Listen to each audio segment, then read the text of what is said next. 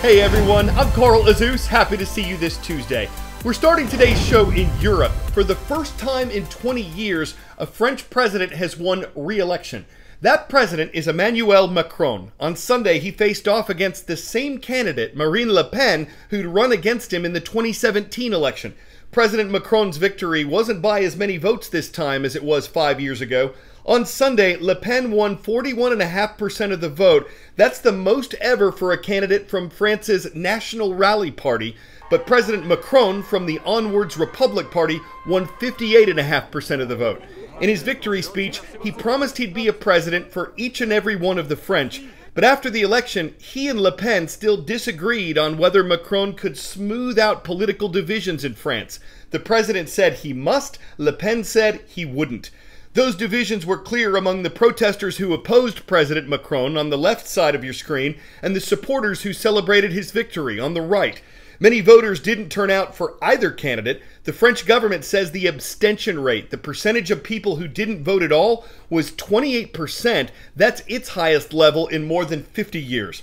And regardless of the election's outcome, the challenges facing France remain high. The country has seen several political storms since the 2017 election, and amid rising energy prices that only got worse after Russia invaded Ukraine, France's newly re elected leader has a lot to deal with in the months ahead. President Macron says he'll address all of France's current problems and that his second term will not be a continuation of his first. One thing that could affect his governing ability are France's upcoming parliamentary elections. Those are happening in June, and Le Pen says her party is in an excellent position to make gains in them. Young, bold, ambitious. We are at the dawn of an extraordinary renaissance. When Emmanuel Macron became the president of France in 2017, he promised a fresh direction for the country, pro business and staunchly pro European. Within months, he was mired in challenges that would dog his presidency.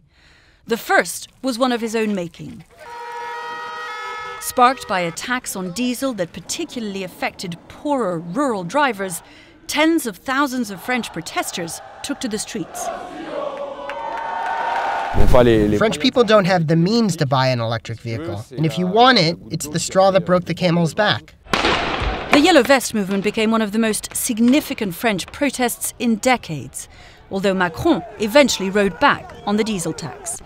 I will not give anything to those who want destruction and disorder, because the Republic is both public order and the free expression of opinions. As protests faded, the unexpected struck COVID 19. We're at war, declared Macron, shutting down France in one of the strictest lockdowns in Europe. So, first wave, people were really angry because of neglected and the need for full lockdown and the number of uh, fatal cases. Despite a slow rollout for European vaccines, Macron doubled down on vaccinations to get France out of lockdowns, mandating health passes to push people to get jabbed. Protests from a vocal minority erupted in response, even as demand for vaccines skyrocketed almost overnight.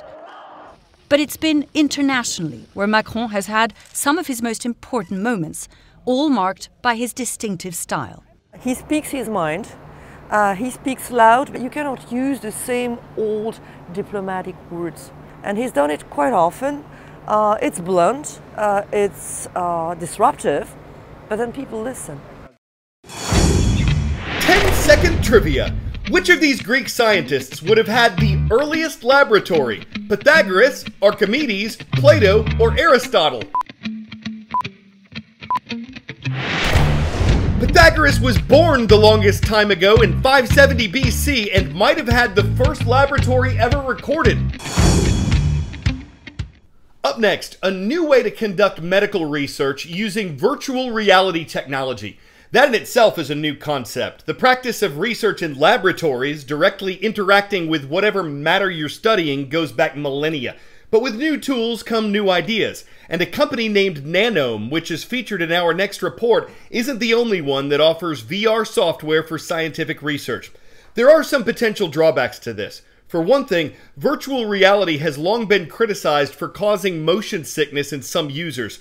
Some of the technology is still experimental, it's not as refined as tried and true traditional research. It's not known yet if the insight it offers is worth the investment. You've got to buy the headsets, the computers, the software, and Nanome itself might not be as user friendly in some ways as its competitors. But it is one way in which scientists and medical companies can get an immersive view of the molecules they're studying.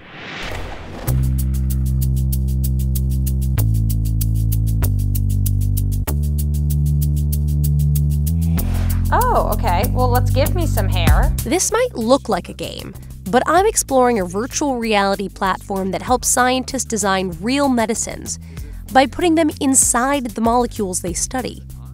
I mean, this is crazy. I'm like in the molecule looking up at it. Joining me is Steve McCloskey. Yeah, and, uh, the 30 year old co founded San Diego based startup Nanome in 2016 to develop the technology. But you started off as an academic nano engineer. So, what inspired you to get into the technology space and actually create this platform? Yeah, I've always been into gaming, grew up big gamer. I remembered how different it was to go into VR and be in the environment uh, compared to just playing a, a 2D game. When I was going through nano engineering, I was like, why don't we have a better immersive graphics way to do this. Turns out, a lot of scientists were asking the same. The Since the platform launched in 2018, hundreds of organizations have adopted Nanome's VR tools for their research. McCloskey says at a cost of $5,000 plus per year.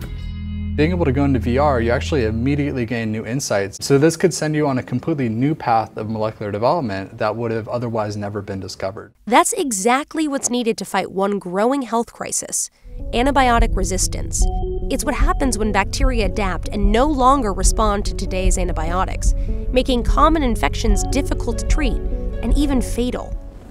LifeArc, a medical research charity based in the UK, is using Nanome's VR to search for molecules that can fight some of these bugs.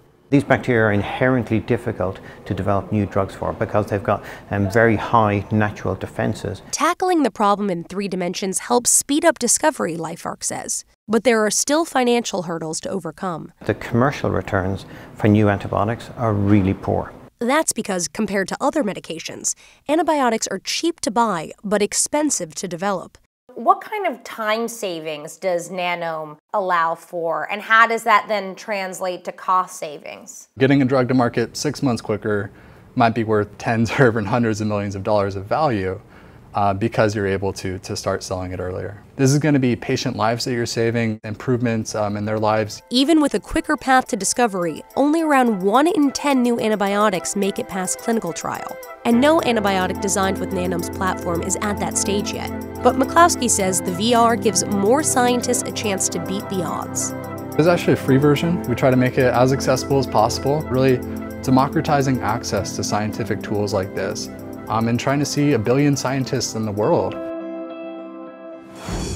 Teachers, parents, homeschoolers, instructors, if you want to know what's in each day's show, if you want a direct link to where you can submit your artwork for our new show open, if you want your inbox to be just a little more awesome, please sign up for our free daily newsletter at cnn10.com. Scroll down to where it says sign up for daily emails.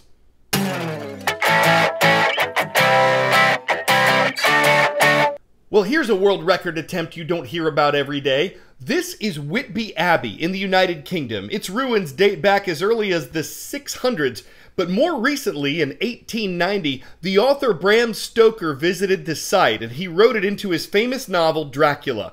That book came out 125 years ago, so to commemorate that, there's going to be live music, food and drinks, and free entry to people styled like Dracula. The goal? To break the record for the most people dressed as vampires in one place. That record is 1,039. But who's counting? Ah, ah, ah. I was just going to end the show there, but then I thought, I could vamp a bit. This could be an interesting caper, to tell the truth. Some people are really stoked about it. They're certainly going to bat an eye. And so I decided to sink my teeth into a few more puns because I thought of them in the neck of time. I'm Count de Lazeus. We are going to shout out Seaford High School today. It is in Seaford, Delaware. Thank you for your request at youtube.com slash CNN